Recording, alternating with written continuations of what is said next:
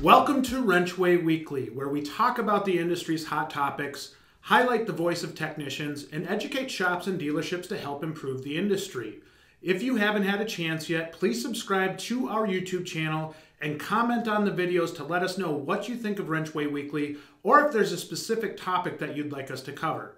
The topic for this week is do you feel like your shop is honest when quoting repairs? And obviously, this is kind of a controversial topic, one that I think gets people talking uh, and, and really might uncover some uncomfortable conversations that, that we want to talk about. The feedback that we got on this question honestly kind of brought some reassurance to me. Uh, was, so, the feedback for this question, do you feel like your shop is honest when quoting repairs, uh, was 84, almost 85% said yes, 15% said no. That's really good. I, you know, I think uh, that that 15% can be a variety of different things. We heard some different things through the comments, but something that I think really hits home with me is that the overwhelming majority trust their shops and they trust that you're putting out honest work when when you when you're quoting repairs. And and sometimes I think it's funny when you go into these these types of conversations it opens up the the door to conversations about how you're doing inspections how you're doing fluid flushes and changes. And and really knowing that you're doing it the right way is so vitally important. And and I think you know some of the feedback, some of the comments that we had, uh, and, some not so great. Right, honesty is a relative term in this business. Was a quote from our Wrenchway insiders. That's one where you, you probably don't feel all that warm and fuzzy about that one, right? Uh, another quote that we had was quoting the work uh, a vehicle needs versus quoting the work that will make a shop money. And so I think that's where a lot of the disconnect is when it comes to maybe that 15% is understanding why you're going through and doing a an MPI or uh, really understanding why it's important for you to do that inspection. And and really I, I know in any industry there's going to be bad people out there right? And i'm sure there are still shops that have that negative connotation or that that that wrong reason why they're doing something. Although for the majority of the shops that we work with, I really don't see it. I, I don't see the negative uh, side of it as much, and maybe it's not that I'm I'm not in the day to days as much as I used to be.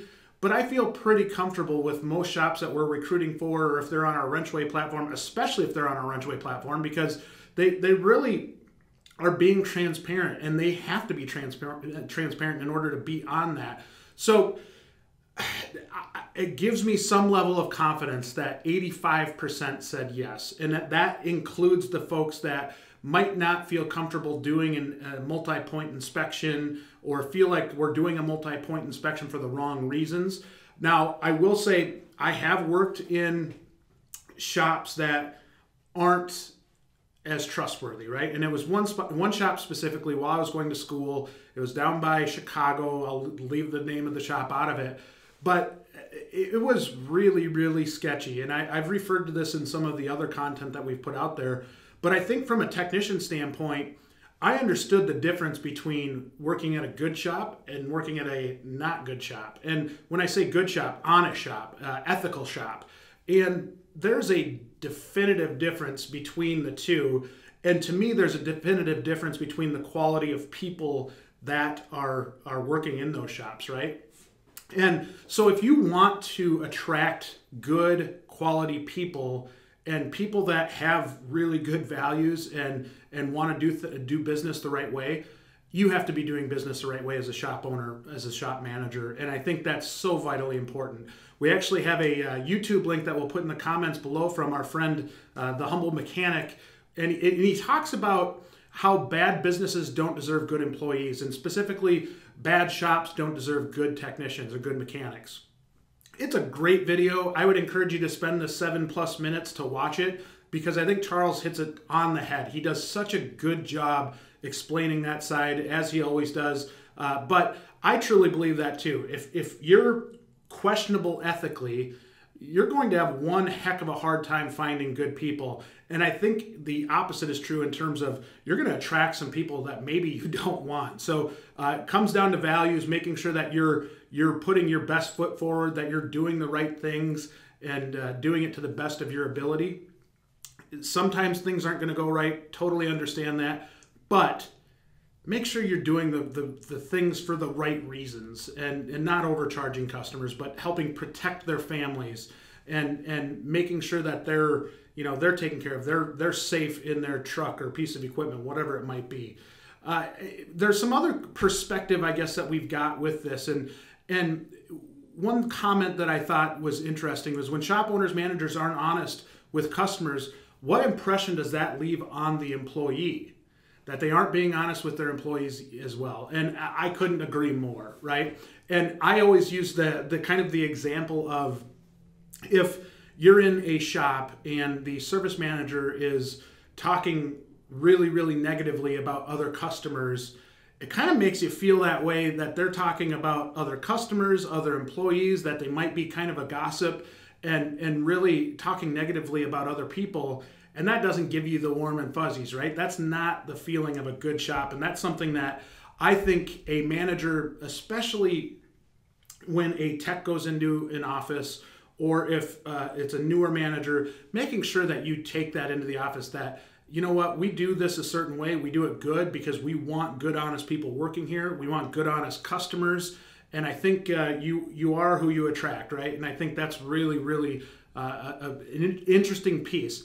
Another industry perspective stat that we pulled was studies found that workers at high trust companies report 74% less stress. So a, li- a lot less stressful working at places that are honest. Obviously, you're probably not trying to hide lies at that point and, and uh, doing business the right way. They exhibit 50% higher productivity.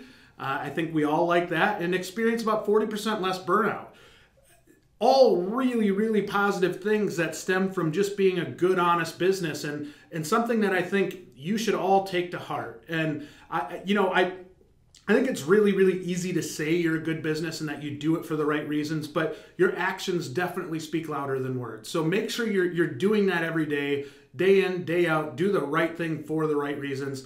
And uh, I think you'll have better, happier, more engaged employees as a result. Uh, as you all know, uh, we give away a prize for uh, the feedback that we receive through the Wrenchway Insiders app. We also get feedback from LinkedIn. Unfortunately, our LinkedIn folks aren't uh, able to win the prize, but uh, those of you that responded through the Wrenchway Insiders mobile app had a shot at this prize. Last week's giveaway was a $100 Amazon gift card, and the winner was Brent Vinderslev with a high score of 31. Uh, congratulations to you, Brent. I, I hope you get to uh, enjoy that $100 Amazon gift card as kind of a post Christmas gift, if you will. Along with that gift card, Brent got a shot at the ever increasing Queen of Hearts game, which is now up to $1,600 uh, because Jeff didn't turn over the Queen of Hearts. So every week somebody flips over a card your chances are getting closer and closer to winning that pot. And and there's less cards to choose from which means your odds go up. So um, keep giving us feedback. Keep helping us out with this feedback. It really really does help. And we're happy to reward you for for giving that feedback that we can turn into content and truly help the industry we've gotten so much good feedback from uh, the, the, both the insiders and the industry side, which I think is really, really important. We're trying to maybe fill the gaps of communication that we, we, we really see a disconnect with. So, uh, of course, we, we post new challenges every week. So make sure you go complete those challenges, earn those points, play the higher or lower game for a chance at that $100 gift card and the uh, the Queen of Hearts pot, which, like I said, it's up to 1600 bucks now that's a lot of money. That's that's a really really good way to start out 2021 uh, is putting that in your bank account. So again, the Wrenchway Insiders app is invite only. If you would like to receive an invite, you can fill out the form on the Wrenchway website. We'll include a link in the comments below, or you can email us at info at wrenchway.com.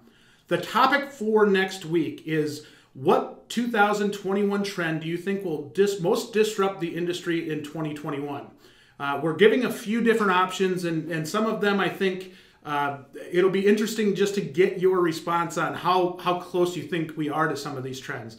Uh, the first being mobile service, the second being autonomous vehicles, the third being electric vehicles, and then the fourth being other, because we really want to hear what trends you feel like are going to be uh, really, really popular in 2021. Uh, get the feedback from the people with boots on the ground. I think that would be amazing. So, again, please go to the Wrenchway Insiders app, find the poll titled Wrenchway Weekly Topic of the Week, and uh, answer the challenges, help give us feedback so we can really, really help educate all of the industry.